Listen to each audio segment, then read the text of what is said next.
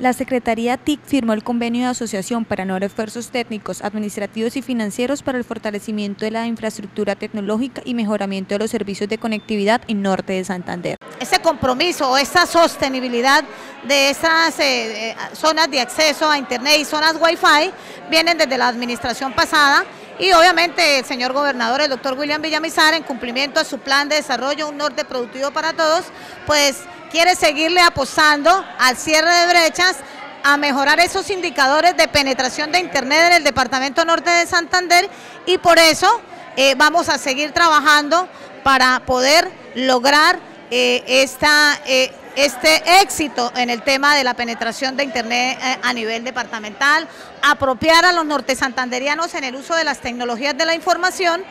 y las comunicaciones y que pues obviamente los eh, ciudadanos norte santanderianos tengan la posibilidad de contar con este servicio de conectividad. Este proyecto le dará soporte de conectividad a zonas Wi-Fi en 15 parques de los municipios de Cúcuta, Los Patios, Chinaco, Talzulia, Pamplona, Villa del Rosario y Tibú. Igualmente se conectarán 17 zonas de acceso comunitario a Internet con un canal de 6 megas dedicados durante 6 meses.